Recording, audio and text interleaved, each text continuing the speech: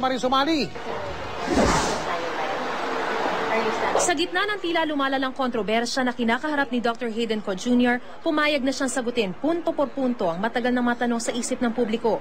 Aminado siyang kasalanan niya ang pag-video sa mga pribado niyang sandali sa iba't ibang babaeng kanya nakarelasyon. Pero nang tanungin ko kung anong sumagi sa isip niya at bakit niya ginawa yun, hindi niya masagot ng diretsyo ang dahilan dito. Honestly, believe it or not, I I also don't know the answer. And that has been the topic of our conversation of our yung, yung discussion namin ng psychologist ko ever since, since December. I've been undergoing psychotherapy. And this is one of the issues na medyo mas difficult for us. And uh, like I said, parang I don't know, maybe it's connected to to to a childhood experience or a childhood trauma or any traumatic experience in, in my life. Pero sabi niya, hindi naman daw sa lahat ng pagkakataon ay siya lamang ang nakakaalam ng pagbe-videong ito.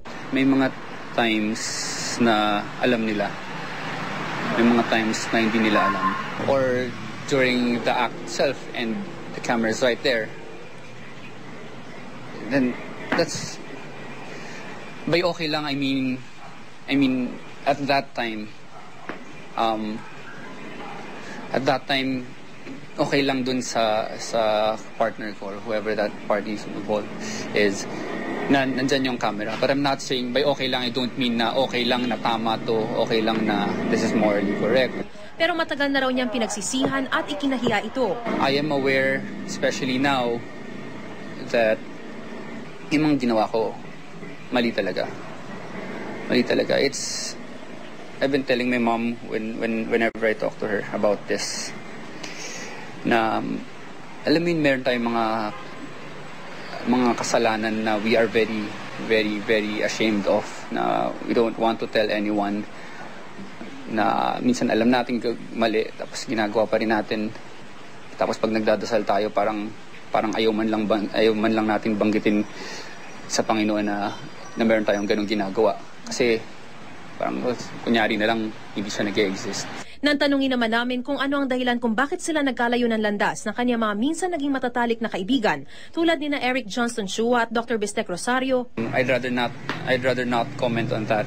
Umapila naman si Hayden sa publiko na wag na isangkot pa ang kanyang mga magulang sa pambabatikos nila sa kanya. Sana po ano, sana po wag niyo na pong involve yung yung parents ko dito, wag na po yung mom ko, wag na po yung dad ko.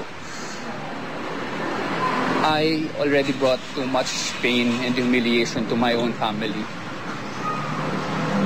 And ma- ma- yun na lang po, na, na-disappoint ko sa kanila, it's too hard for them to bear, especially for for a dad who, who used to be so proud of me and a, and a mom na alam mo nakita niya akong lumaki. That's really painful for for them, of course. And now, like, it's, it's as if the whole Philippines is talaga nagtutulong-tulong. Everyone's clamoring for my head. Everyone wants me punished. Humingi rin siya ng paumanhin sa mga nasabi nung isang araw ng kanyang ina sa publiko. Humihingi ho ako ng, ng is, um, paumanhin o kapatawaran na yung mom ko po naging emotional during the time na lumabas siya sa TV. I can't blame her. She's a mother. She's just doing her job. She's I guess she she just loves me so much and she and that because she can she can see na walang this time parang wala akong kakampi. Sa kabila naman ng mga patama ni Manay Lolit Solis sa kanya, tinuturing pa rin daw niya itong kaibigang mapagmahal. Hindi naman naniniwala si Hayden na may kasalanan si Dr. Vicky Bello sa gulong kinalalagyan niya ngayon. She's a she's a good friend. She's a she's a very special person. I've actually never never met someone like her. Very accepting, very forgiving. I kung kung merong isang tao na pinaka pinaka nasaktan dito, nahihirapan, pinaka biktima dito, I think it's Vicky. Kasi wala naman siyang ginawang masaba kundi kundi nagmahal Mariz Umali nakatutok, 24 oras.